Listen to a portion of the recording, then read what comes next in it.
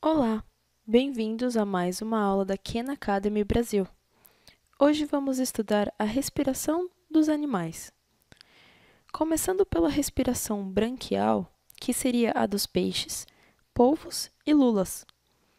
Estes animais respiram por meio de brânquias, também conhecidas como guelras. A água passa pela boca do animal e passa pelas brânquias, saindo pela abertura que existe em cada uma delas. Nas brânquias é onde existem muitos vasos sanguíneos e é lá que é feita a troca gasosa. Assim se dá a respiração dos peixes. Agora, vamos ver como é feita a respiração dos insetos. Os insetos possuem tubos que formam o sistema traqueal para fazer essa troca gasosa. O ar entra por buracos posicionados na lateral do corpo dos insetos, chamados de espiráculos, e é conduzido pelo corpo através desses tubos. Cada tubo termina em uma célula especializada para fazer a troca gasosa. E assim se dá a respiração dos insetos. Os próximos animais que nós vamos ver fazem a troca gasosa através da pele.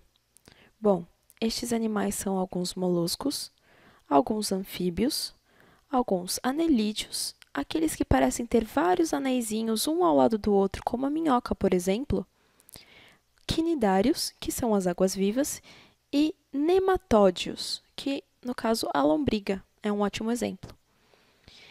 Bom, na pele desses animais existem células que absorvem o oxigênio e fazem a troca gasosa, ajudando-os a respirar.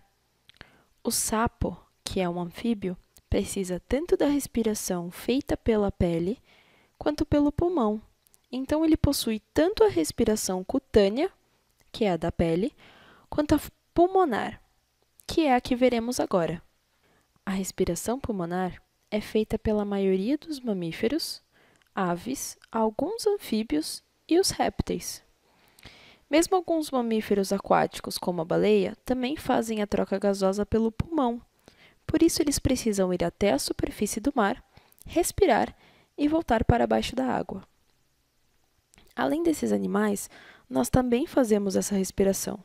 O ar entra pelo nosso corpo, vai até o nosso pulmão, onde faz a troca gasosa, depois o ar sai e então temos o nosso processo de respiração.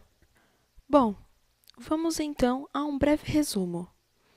A respiração dos animais pode ser branquial, no caso dos peixes, polvos e lulas, traqueal, no caso dos insetos, cutânea, feita através da pele, no caso de moluscos, anfíbios, anelídeos, quinidários e nematódios, e a pulmonar, feita por alguns anfíbios, mamíferos, aves e répteis.